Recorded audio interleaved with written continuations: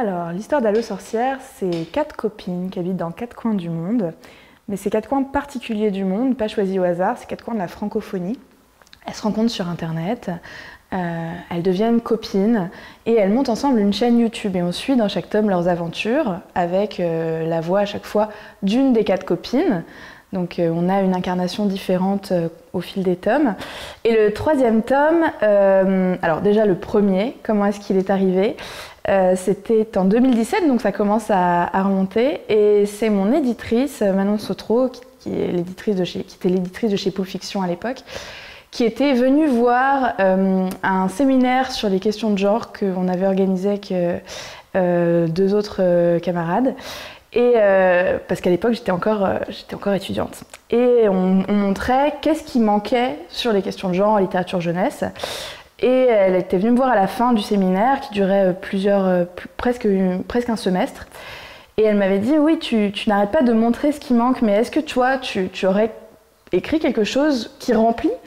Et là, j'ai complètement mitonné et j'ai dit Ah oui, oui, absolument. Euh, moi, j'ai plein d'histoires dans mes tiroirs. Euh, j'en ai une qui pourrait te convenir. Euh, tu dis du 9-13, ouais. Et en fait, j'avais rien du tout. Pendant toute la nuit, j'ai écrit le début du, du tome 1 de la série Elle le sorcière qui s'appelle Viser la lune. Je lui ai envoyé et elle m'a dit Allez, ça part, on fait un bouquin.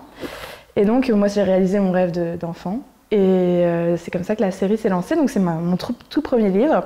Et le tome 3 qui est sorti cette année. Euh, c'est l'histoire d'Itaï qui habite en Nouvelle-Calédonie, euh, donc euh, une petite île tout au bout du bout du bout du monde, d'où je suis moi originaire aussi. Et quand on habite si loin et que ses copines sont à l'autre bout de la terre, ben, on se sent très isolé, surtout quand on est ado et qu'on est très très fâché. Et Itaï, elle est en colère contre le monde entier, contre ses parents, à raison, euh, contre ses camarades, à raison aussi.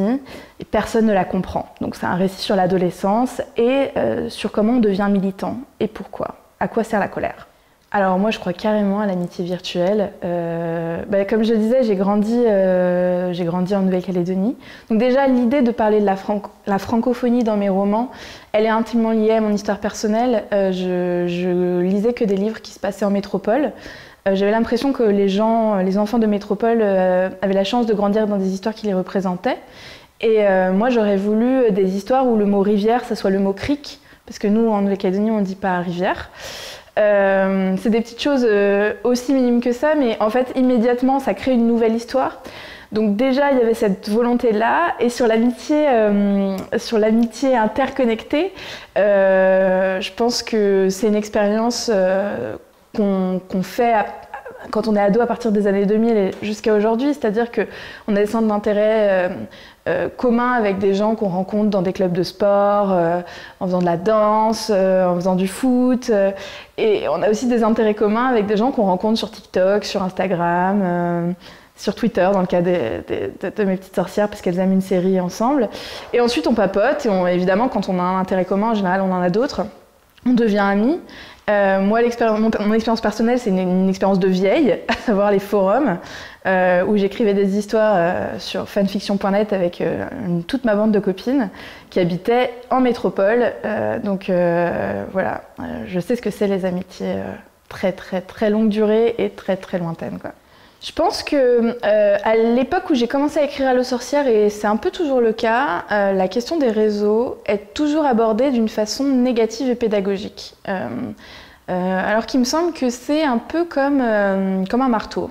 On peut s'en servir pour, euh, pour taper sur des gens, on peut s'en servir pour construire une maison. ça reste un outil.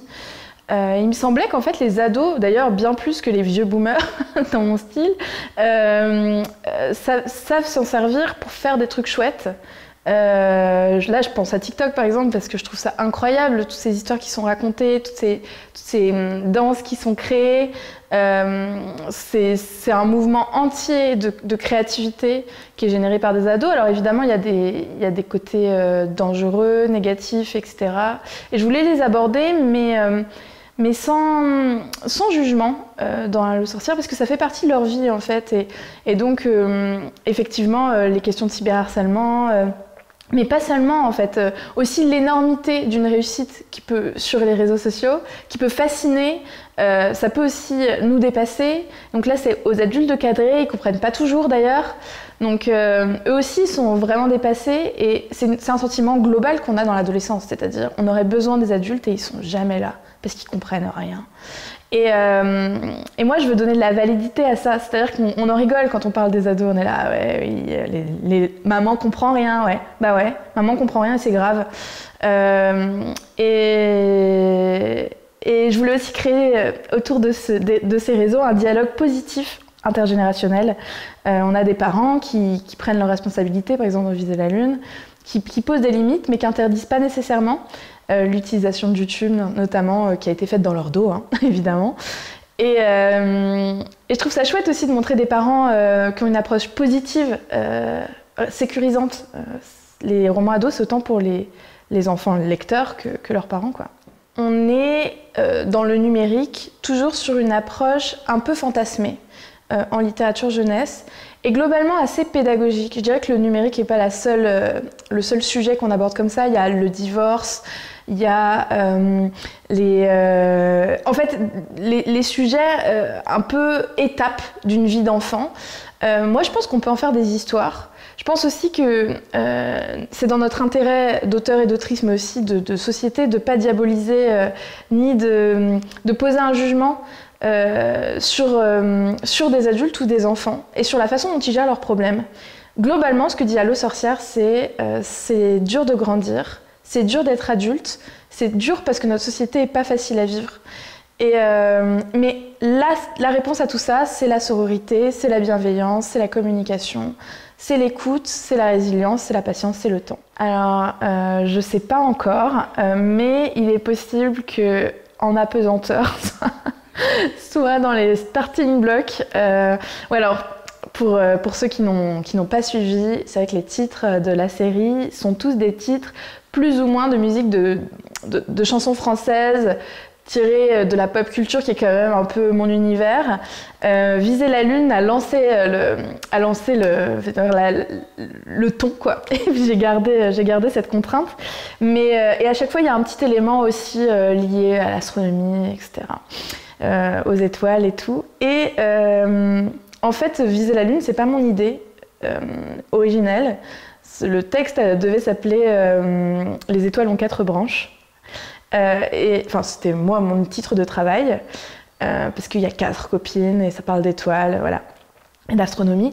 Et en fait, l'éditrice m'a dit "Écoute, ton texte est bien, mais le titre est merdique, ça va jamais se vendre. Enfin, c'est hyper intello, c'est pourri."